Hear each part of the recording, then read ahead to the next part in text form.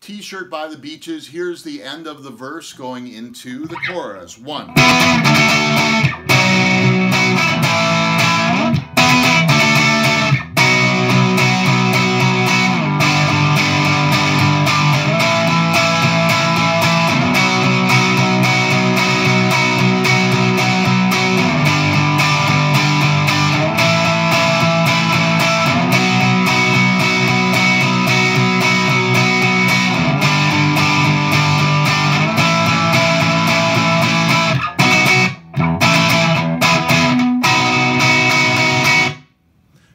So what is that? Well, at the end of uh, the verse, the last round, we have one.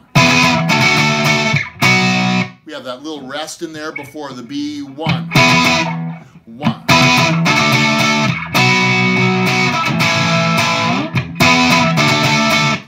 Three, four, one.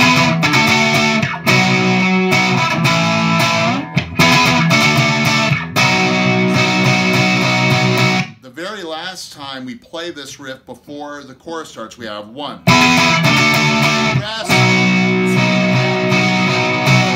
Okay, and then we're going to shift down to the uh, third fret. We're playing a G chord. One and two and three and four and shift up two frets to A. Shift two frets, shift up two frets to B for two measures.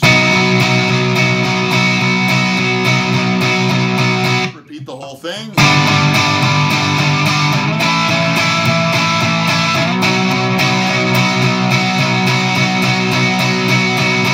down to G.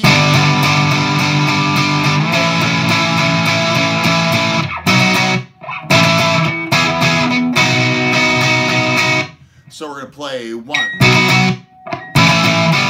And then we have an E chord.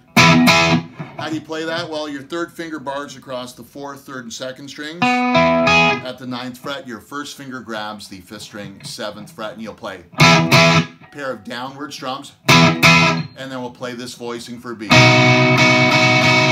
First finger on the second string, seventh fret, middle finger, uh, second finger on the third string, eighth fret, third finger on the fourth string, ninth fret. We'll play.